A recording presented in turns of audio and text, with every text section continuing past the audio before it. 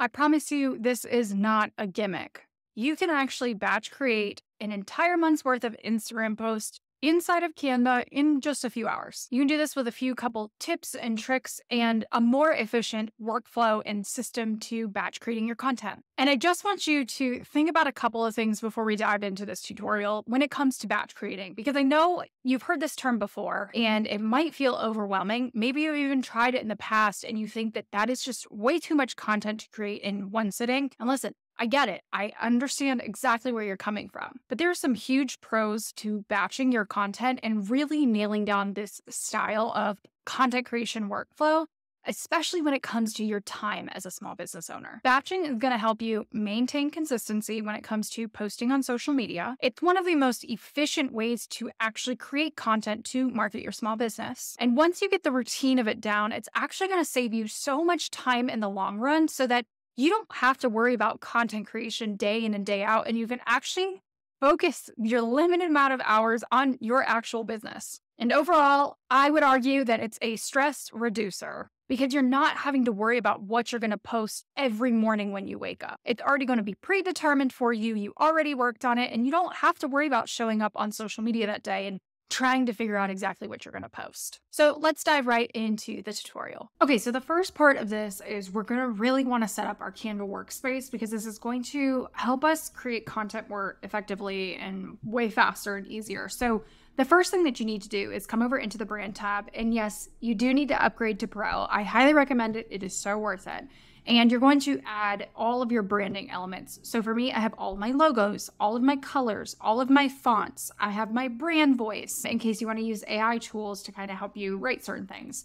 Any photos, patterns, graphics, whatever this looks like for your brand, I recommend you upload it all into here because then you're not having to go into like Google Drive and download your logo every time or try and find it on your computer.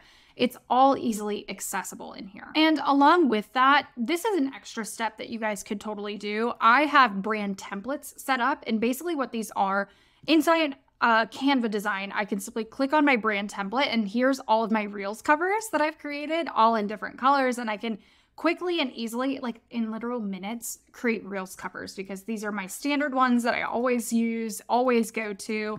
I have the same thing set up for my Instagram carousels.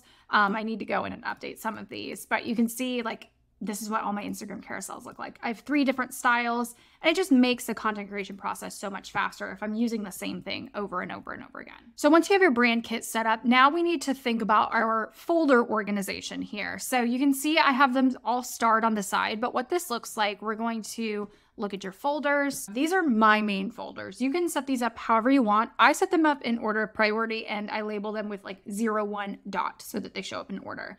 So I have a folder of brand assets. I have a whole folder for social media. Campaigns are my sales campaign. You get the gist here. The one I recommend everybody have is an archive folder so that anything you're not using anymore, you can drag and drop it in there. And so it doesn't kind of clutter up your Canva feed.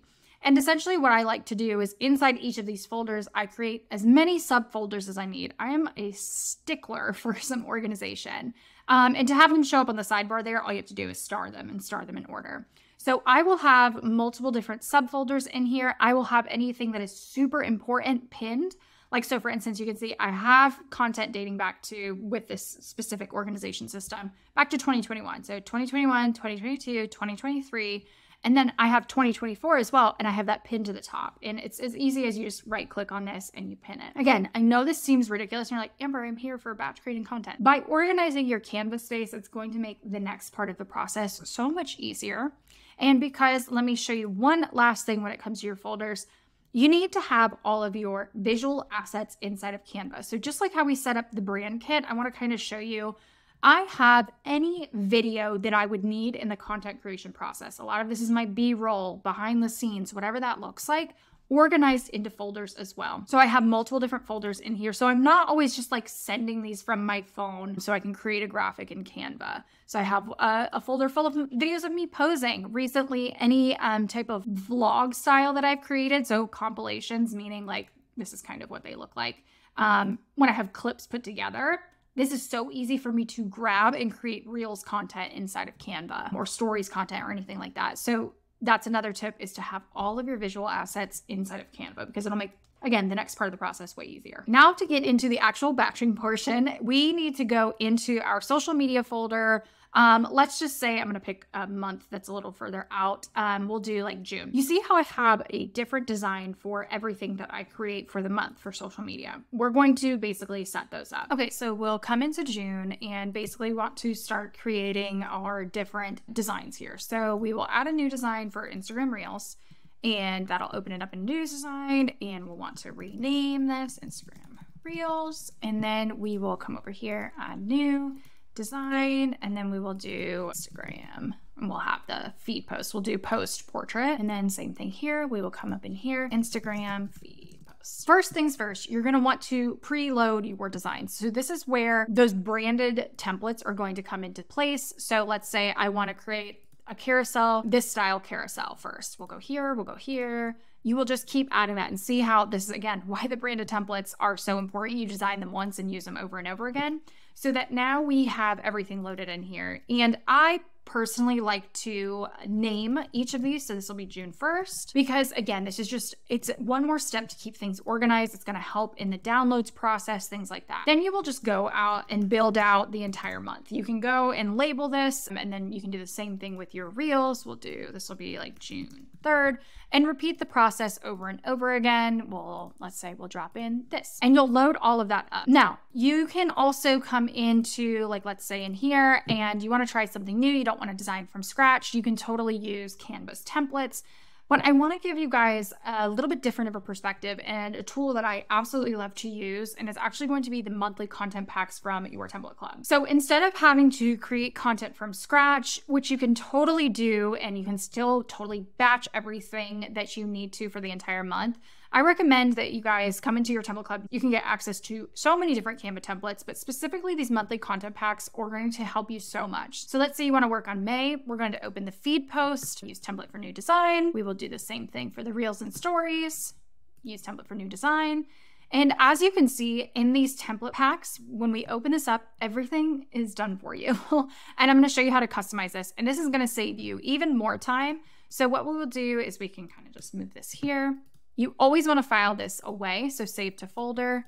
Again, this is why the organization of your stuff is so important. We'll come into the 2024 social media content. This is going to go into where's May. Sometimes it doesn't put it in alphabetical order.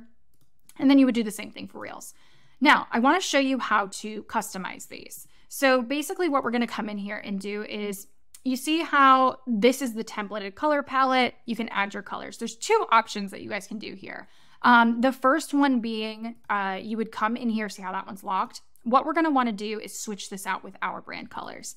This is where that brand kit is key. So I'm going to switch that light color to my light color and click change all. And then we would do the same thing with the dark color. Select that, click this and click change all. You will do the same with all of your different accent colors and we will switch all of those. Same thing here, we'll click on that, make sure that color is selected and change all. You'll go through that process and when you open this back up, you can start to see that your branding has been applied. And this is again, such a time saver when it comes to creating content. Now let's say you've come to one and you're like, okay, cool, this looks great. Not all the colors kind of transformed. Let's use the styles tab. And what you can do is you can click on this here and since my brand kit is set up, we can simply just shuffle through until we get a look that we like. That's about as close as I think we're gonna get there. I might just change this back to white. That's perfect.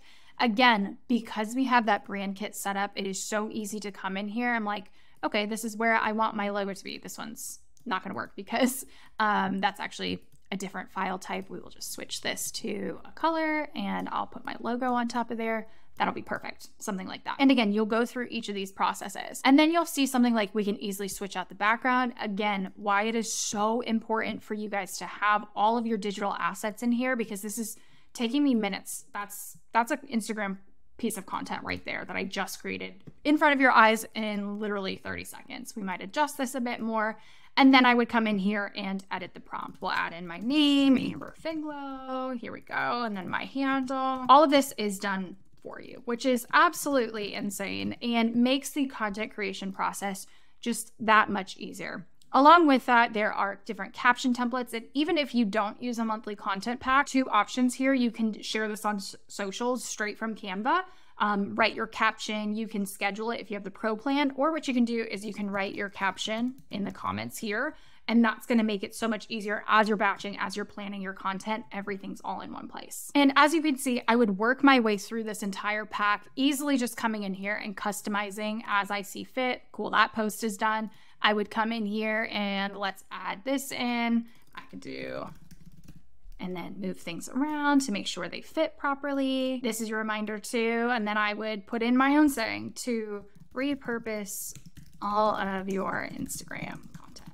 Cool. We move on to the next post. But as you can see, now I can get done with an entire month's worth of content as soon as possible. A couple of hours, I can play around or I can just like literally use it as it is. This carousel right here, I might even just leave as is. Who knows? You know what I mean? This one, I would probably leave as is once I filled in the text. I'm not going to adjust that. Same thing here. I would just swap out my photo because I am a personal brand. So I would easily just put this one in here. We would go in, remove the background, kind of adjust this a bit as that's doing that. And that's it. It's, it's as simple as that. And the more that you organize your Canva and simplify this process, the easier it's going to be for you to create content. Batching truly is the way to go when it comes to creating Instagram content for your small business in Canva. So I want you to try this system out for yourself. And if you want that little extra boost, that little extra bit of help, I want you to try out the monthly content packs inside of your template club. You guys can find it at the link in the description below. And otherwise, I will see you next week. Don't forget to hit that subscribe button.